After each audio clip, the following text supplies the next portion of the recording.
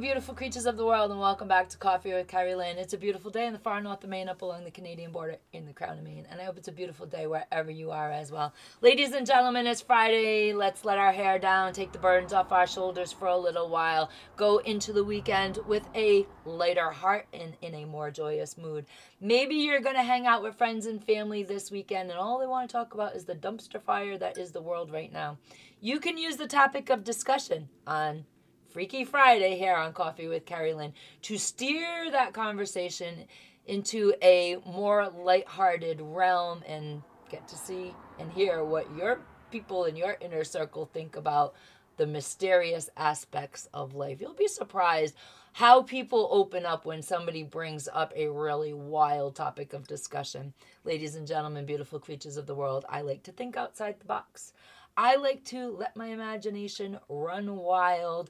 I truly believe with my heart and soul that the impossible in life is truly possible. I like to talk about the experiences in life that people have that are totally stranger than fiction that you would literally think this person is BSing you if they just stopped you on the street and told you about what just happened to them and they are totally freaked out about it people don't talk about these things because it makes them look weird. Well, I'm the weird girl. I've always been the weird girl. And today we are going to be talking about near death experiences. Ladies and gentlemen, beautiful creatures of the world, if you are watching me right now on Rumble or on YouTube, please subscribe to my channel, Coffee with Kerri-Lynn. Give the video a thumbs up add in the comments have you had any wild wacky stranger than fiction experiences in life? Have you had any mysterious experiences in life things that you just can't explain but you know darn well that they happen but you're wondering if they happen? Drop it in the comment. I don't judge anybody here. I love to hear uh, about people's experiences. If you're not comfortable dropping it in the comment Email me at coffeewithkerrilynn at gmail.com. Email me your experience, and maybe it will become a part of my show, Freaky Friday. If you are listening to me on Spotify, iHeartRadio, YouTube Music, or Amazon Music, think about subscribing to my voice only podcast over on those channels and giving me a five star rating. Now, let's get into it. Ladies and gentlemen, I've always been the weird girl my entire life. My life began weird. My great grandparents passed away before I was born. In fact, my great grandmother passed away on February 12th, 1970, and I was born on February 18th, one year later. I'm an Aquarian. It's my season and it's almost my birthday. Ladies and gentlemen, beautiful creatures of the world, my grandparents migrated from Poland to the United States in the early 1900s. They went through the Ellis Island thing. They had sponsors in this country. And my grandmother was born in 1914. She was the first American born in our family. That's on my dad's side of the family. And a lot of old world culture and customs came with my great grandparents from where they came from. One of the cool old world customs that often happen is when an elder knows that they are going to pass away and there is going there is a marriage that is going to happen in the family. My parents were engaged. My great grandmother knew that they were engaged. They were to be married. She knew she would not attend the wedding, and she wrote a congratulations card to the firstborn child, which happened to be me. This is just a custom that happens. Generally, a letter from the elder is written to the baby, or a card is given to the baby um, from the elder that has passed on. Uh, it's a little wish you good luck in life type of thing. Maybe it has some experience, life, life wisdom in the letter or in the card is generally very generic and very explainable. However, the day I was born, my grandmother, who her mother entrusted her with this card, went to visit my mother at the hospital, see the new baby, which was me, and my mom opened the card and it said, Congratulations on your baby girl. which was kind of a freaky thing for my mom. Now, my mother, her history is completely and totally rooted in the beginning of this country. Uh, we had relatives that came over on the Mayflower. I am the 13th generation great granddaughter of Samuel Gorton, who not only was governor of Rhode Island twice, but overthrew the crown to be governor of Rhode Island twice. Very good friends with Roger Williams and started his own religion called Gortonism. So that's my mom's background, very American. So this weird old world custom really kind of freaked my mom out. But that was just the beginning. I was about two years old and I was speaking and I started telling my grandmother about things that happened in her childhood that I had absolutely no knowledge of. She never told anybody about some of these things that I told her. As things would happen, I started speaking fairly fluent Polish. Now this was this was uh, kind of brushed aside by my parents because my parents were like, "Hey, she's she's with my grandmother. I was with my grandmother all the time. They were like, my grandmother must be speaking Polish phrases. Now, my grandmother, rest assured, everybody, that she stopped speaking fluent Polish when her mother died because there was nobody to exchange with her. So that was my grandmother's story, and she stuck to it. And after it was discovered I could speak Polish, shortly after that, I lost all knowledge of it. When I was much older, my grandmother would teach us the Polish equivalent to words such as forks and knives and spoons and cups and plates and floor and rug. So I had all the individual words, but I never spoke fluent Polish after that, after um, that brief stint I went through as a very young child. Now, I used to freak my parents out because I would know things that I should not know about people that I did not know. I would um, have a lot of dreams about relatives that had passed away. And the biggest freak out was when my great grandfather on my mom's side passed away. Her grandfather passed away. And several months after he passed away, I woke up in the morning and gave my mother a message from my grandfather about something I could not know about because I was not born at the time that it happened. And it was kind of a freak out thing. And this kind of kept happening. But it not only kept happening in the confines of our house, it kept happening when I saw people that I did not know in public. I would give them a message from Aunt Edna and I did not know these people. They did not know me. There's this little girl that's coming up to them and speaking her mind. And that's where we get the phrase if it pops in my, my head and flies out my mouth, sometimes we're both surprised. And that is a catchphrase for Coffee with Kerri-Lynn. I was, um, my parents were a little afraid of me, but they did teach me how to keep that kind of stuff under wraps.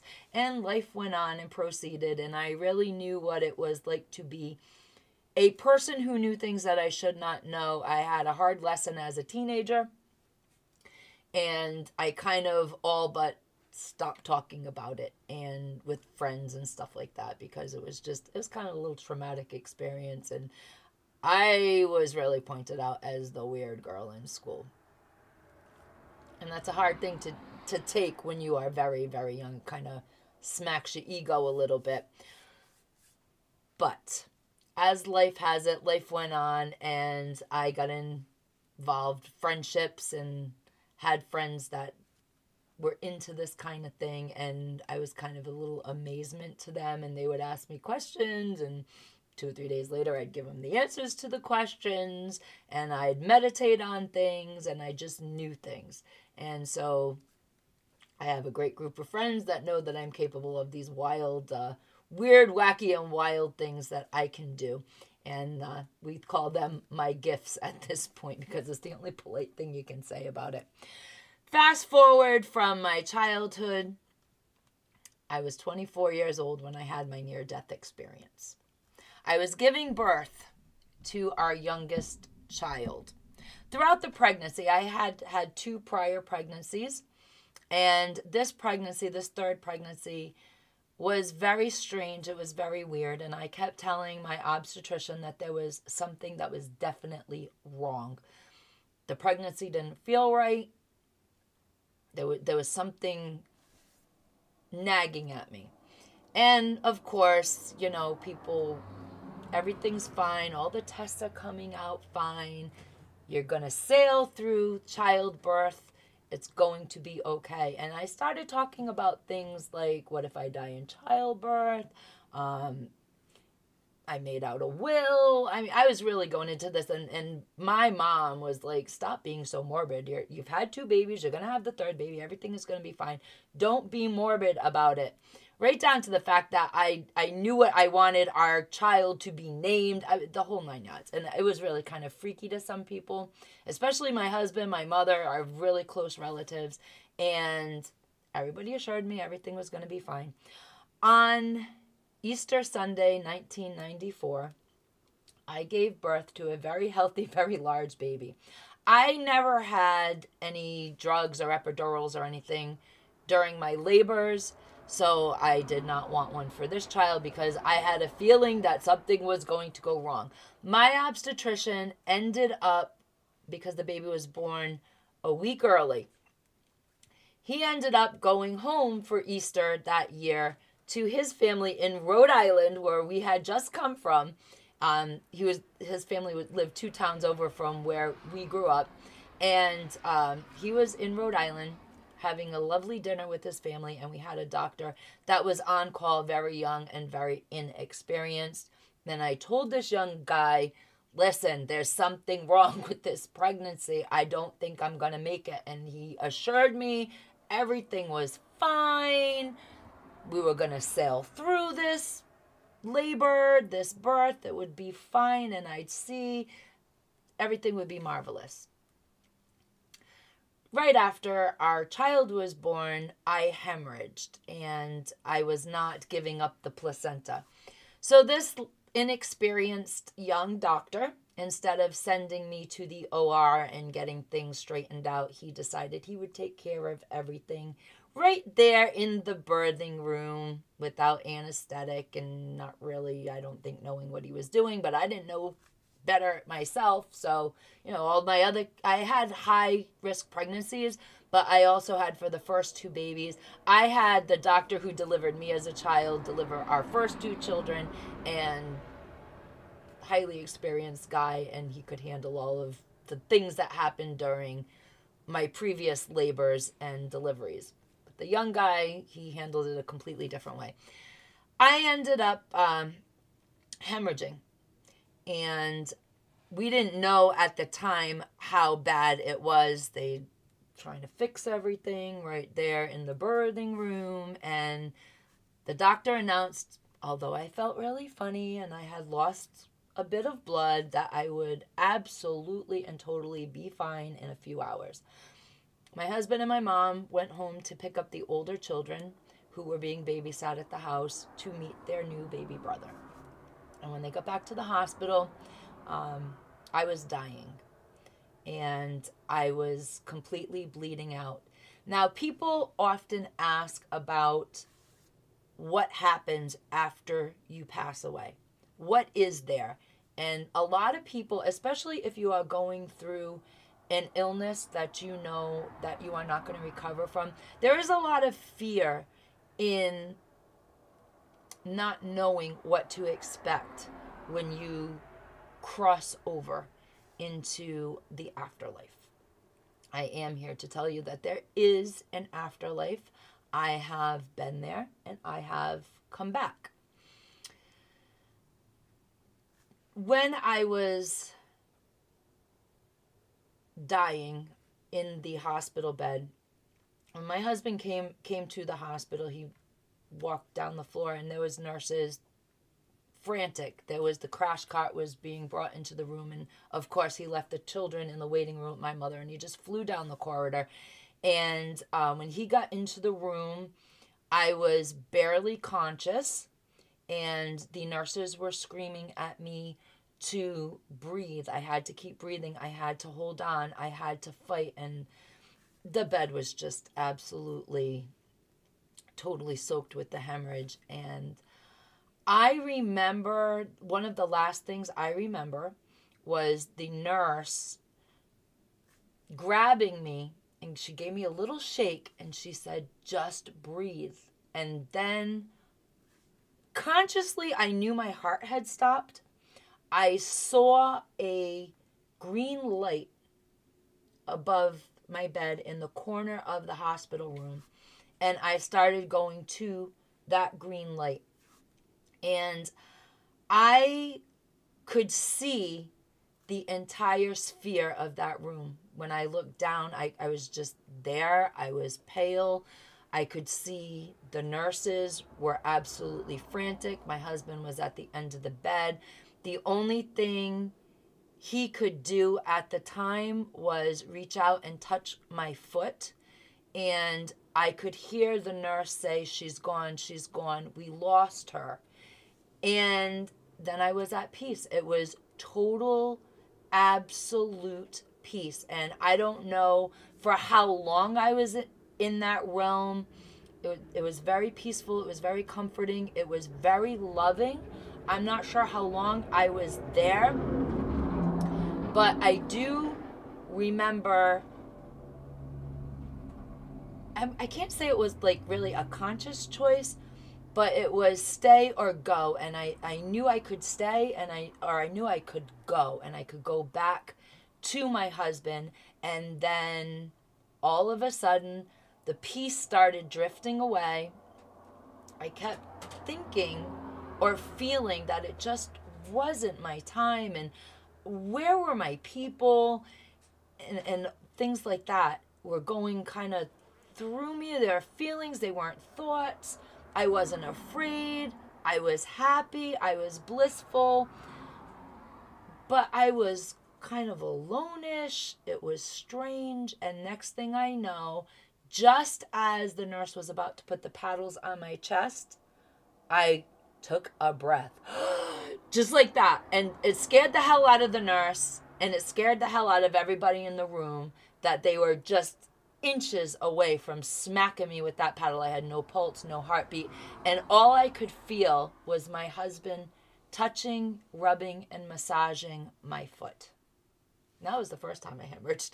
Two weeks later, I hemorrhaged again because they didn't do proper procedures, and it was, like I said, it was a very young, new obstetrician, and certain things weren't done. I didn't get a D&C and therefore nothing was really investigated. I had stopped hemorrhaging in the hospital. I had stayed in the hospital for five days.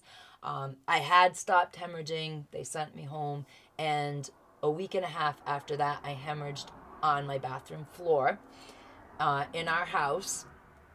And it was a very frightening experience for everybody around. My husband had uh, some friends over and I just called out to him and I said, uh, I'm hemorrhaging. You have to get an ambulance. And they called the ambulance. And the entire time I was completely conscious. And the EMTs came and I spoke to them and they're looking for a pulse and they're trying not to freak me out, but I absolutely had no pulse. Although this entire time I was assuring everybody that I was not going to go anywhere. I had a child to raise. Um, that, you know, I told my husband over and over again, I'm not going to die. And they're like, where the heck is this chick's pulse?